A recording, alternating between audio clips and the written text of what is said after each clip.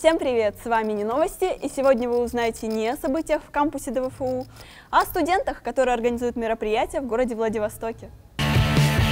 Необычная выставка прошла на этой неделе на набережной Цесаревича. Ее экспонатами стали истории о людях со всей России, которые доказали, что можно сделать невозможное. Подробнее об этом в следующем сюжете прошедшую пятницу на набережной Цесаревича в городе Владивостоке участники проекта «Сеть» открыли выставку «Фигуры неумолчания», посвященную большим делам обычных людей. Привет, представься, пожалуйста, и расскажи, что это за выставка. Привет, меня зовут Олег Елсуков, я участник проекта «Сеть», а о выставке могу рассказать следующее, что она создается обыкновенным парнем, такой же, как вы, такой же, как я. Он рассказывает о простых людях, о, э, о россиян. Люди, которые меняют мир к лучшему – э, украшают свою жизнь и тем самым украш, э, украшают жизнь окружающих людей. Спасибо большое. А, расскажи, пожалуйста, как тебе сегодняшняя выставка? Выставка мне очень понравилась, я узнала много интересных историй, которые не знала раньше. Например, про бабу Галю. Читали? Очень интересно. Много людей в России, которых мы не знаем, и которые действительно меняют мир вокруг нас. И благодаря этой выставке, наверное, каждый задумается о том, что может поменять вокруг себя. Спасибо большое. Студенты ДУФУ тоже приняли участие в подготовке к данной выставке. Алена, привет. Расскажи, пожалуйста, как ты узнала об этой организации? А, об организации я узнала где-то, наверное, в ноябре месяце, еще до Нового года. А, знакомая позвала меня на фокус-группу, сказала, что будет проходить какое-то мероприятие. В общем, мы собрались с ребятами, пришли, и нам рассказали о том, что существует такой проект «Сеть», который организуется в 10 крупных городах России. А, он состоит в том, чтобы привлекать молодежь, активную жизненную позицию этих людей э, направлять на создание каких-либо социальных проектов или чего-либо, что может внести вклад на развитие патриотизма, например, у людей нашей страны, или, может быть, что-то общественно полезное. А какой твой вклад в данную выставку? А, когда только Александр Ширяков начал собирать информацию о всех этих людях, о которых написано здесь на стендах этой выставки, я принимала участие в распространении этой информации в сети интернет с помощью контакта. Ну, то есть э, занималась неким пиаром этого паблика. Вот. Благодаря данной выставке жители Владивостока смогли поверить в то, что большие дела делаются даже маленькими людьми. С вами были Не Новости! Здравствуй, Александр. Расскажи, пожалуйста, о выставке «Фигуры неумолчания» и об экспонатах. Э, буквально вчера на набережной Царевича открылась и в тот же день закрылась э, выставка «Фигуры неумолчания», в рамках которой я пытался в визуальной форме рассказать про людей, которые меняют мир вокруг к лучшему. А расскажи, как ты собирал эти истории? Э, ну, как я уже сказал, я на протяжении пяти лет ездил по России, и вот помимо своей общественной деятельности, когда совершенно случайно, когда вполне целенаправленно встречался с людьми, которые меняют мир вокруг себя к лучшему. А, кстати, как решили это, да, э, я вот пять лет эти истории собирал, как нормальный человек, естественно, хотел о них кому-то рассказать. Все думал, как, как говоря, это сделать. И буквально в прошлом году я стал э, с удовольствием э, активистом федерального проекта «Сеть», в рамках которого эта идея обрела э, четкие формы, конвертировалась в проект, э, и вот в рамках этого проекта «Фигурное молчание» вчера у нас прошла выставка, через несколько дней у нас пройдут еще там ряд акций, и, и так в течение года, а к концу года будет издана моя первая книга «Фигурное молчание», повествующая как раз о таких людях. Это будет такой аль альманах очень светлых, пронзительных историй о, ну, о лучших людях современности. Угу. А расскажи вообще, на что направлен проект «Сеть»? То есть он дает людям какой-то старт, какие-то возможности, правильно? Федеральный проект «Сеть» — это вообще очень интересная штука. А, на данный момент в 11 городах России существует отделение проекта, и главная цель сети — это поиск э, одаренных, активных, талантливых молодых людей по всей России и помощь в развитии их проектов. Uh-huh. Если у тебя есть э, какая-то идея, которая, которая однозначно меняет мир вокруг хотя бы немножко, э, и ты хочешь эту идею воплотить, ты можешь войти в сеть, ты можешь доказать, что э, твоя идея действительно чего-то стоит. И если ну, она действительно чего-то стоит, в нее будут вложены деньги, она будет поддержана на самом высоком уровне, и в итоге она станет вначале региональной, потом она выйдет на федеральный уровень, а потом, дай бог, она э, станет известна во всем мире. цель проекта «Сеть» создавать в России свои правила, свои правила, свои ценности, которые будут транслироваться в мире. Потому что на данный момент, мы все прекрасно понимаем, э, мы живем в мире, в котором правила э, диктуются не нами. Это западный мир, это те же самые Соединенные Штаты, и все, начиная от правила Голливуда, кино, которое мы смотрим, заканчивая правилом доллара или правилам американского авианосца, который готов нанести визит вежливости в любую страну, эм, все это не наше. И организаторы проекта «Сеть» хотят, чтобы русские люди создавали свои правила, и чтобы в России появлялись люди, бренды, которые станут э, известными и узнаваемыми во всем мире. Большое спасибо тебе, удачи! Еще одна выставка стартовала недавно в галерее современного искусства «Арка». Ученики британского фотографа Рольфа Гоббитса представили свои итоговые работы на суд публики. Подробнее в сюжете.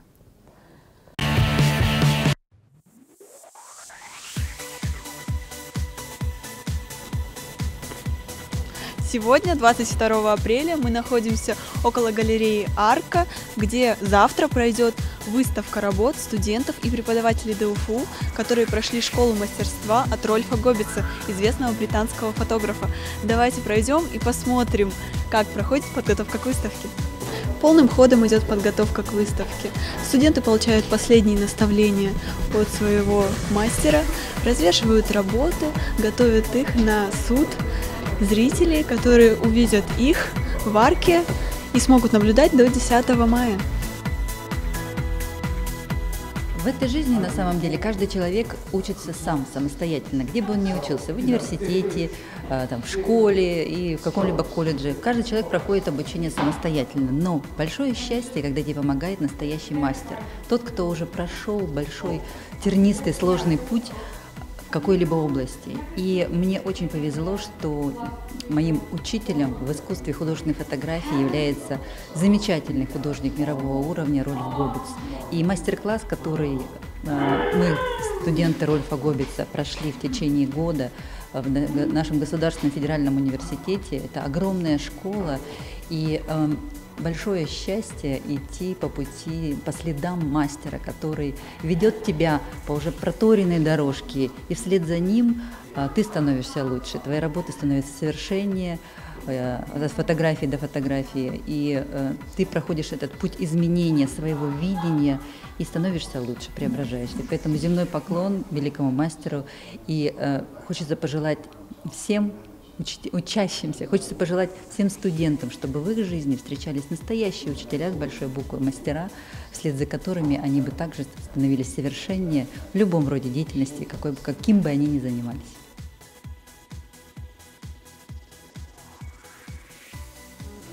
Uh, tell me please about your students. They, they've come a long way when they started. Um, it was uh, not fantastic. but I have now been with them for eight months and they're doing very, very well. And that's why we decided to have the exhibition here because I think it's good enough to, to show in the gallery and not just at the university.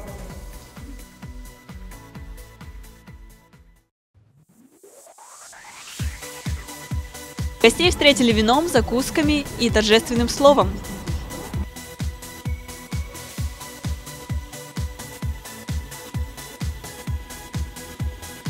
Многие люди пришли посмотреть, возможно ли это. Но,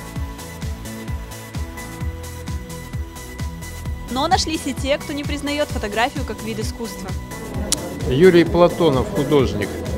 Я вот смотрю и вижу в последнее время очень много качественной фотографии, очень много качественной. И художников что-то, я смотрю, становится все меньше. Ну, те, кто занимается живописью, графикой, как бы идет падение. А все больше вот механического искусства, я бы так сказал, понимаете. Меня это, конечно, настораживает, потому что у меня были споры с фотографами, что мне говорят, да, это очень сложно, все, говорю, ага, нажать на кнопку, ну да, ты там как-то это все обработал, и вроде что-то такое. А вообще, конечно, выставка это, ну как, черно-белая, мастер преподает, это видно, что здесь мастерство уже как бы чувствуется, понимаете. И вообще, дай бог, чтобы у нас живопись в городе так поднялась, как вот сейчас фотография. Большое спасибо. Ваши работы сегодня не подписаны. Скажи, пожалуйста, почему? Когда человек смотрит на фотографию и не знает ее автора, ему хочется подойти к кому-то и спросить, кто же автор. То есть у него, если есть какие-то вопросы, то есть это побуждает, в общем, к общению, э, к вопросам, к, к желанию получить ответы на эти вопросы. Вот поэтому. Студенты помогают детям. Так, например, на прошлой неделе студент инженерной школы ДВФУ Альберт Никитин провел музыкальный фестиваль, средства от которого были собраны на благотворительность.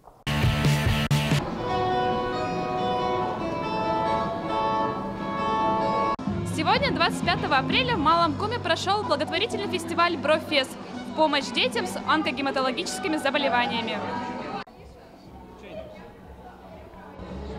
Девушки, здравствуйте. Расскажите, пожалуйста, по какой причине вы здесь оказались? А, Меня пригласила моя руководитель, как руководителя движения «Стриж», актива молодежи и актива старшеклассников, чтобы мы поучаствовали, прорекламировали это мероприятие. Ребят, привет. Расскажите, пожалуйста, по какой причине вы здесь оказались? А, Мы из добровольческого движения «Мы вместе». Наша организация занимается с детьми, а, которые находятся на лечении в онкогематологическом центре города Владивостока. А, Вот. А эти футболки дети рисовали вместе с художниками Приморского края, которые добровольно согласились нам в этом помочь. В честь данной акции ребята продавали значки, браслеты, бабочки и футболки с символикой данного фестиваля. Вырученные деньги пойдут в помощь больным детям. Привет! Я, как, как я поняла, ты являешься организатором данного мероприятия. Э, Расскажи, как тебе такая идея пришла в голову? А, но идея пришла на самом деле не так уж и спонтанно. Она вышла из проблемы, которая существует в городе Владивостоке. Проблема — это плохое информирование людей города Владивостока о существовании проблем детского онкогематологического центра города Владивостока. А, ну, какие проблемы там существуют? А, это плохая социализация детей, а, им нужна дополнительная поддержка, а, и также а, им нужны средства для лечения в их фонд. А сложно было провести такое мероприятие во Владивостоке? А, вы знаете, это достаточно затруднительно, потому что мало кто в нашем городе занимается благотворительностью. Если занимается, то, ну, скорее в высшем обществе. А вот так среди молодежи, в принципе, ну, никто не идет на это. Ну, в общем, ты большая умничка, спасибо тебе большое. На данном концерте выступили такие группы, как Делирика, Васаби, Тим и Острова. Каждый день это шанс совершить небольшое чудо. Времени, кроме сейчас, не было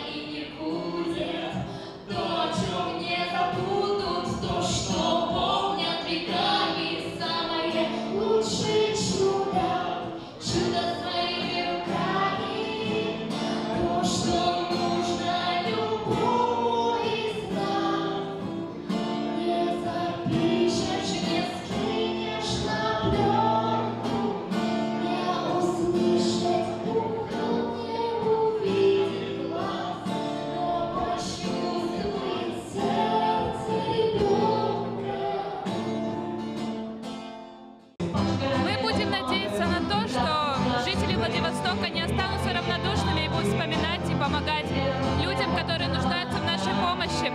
Делайте добро и оставайтесь с нами. С вами были не новости. Смотрите нас, с нами узнаете больше.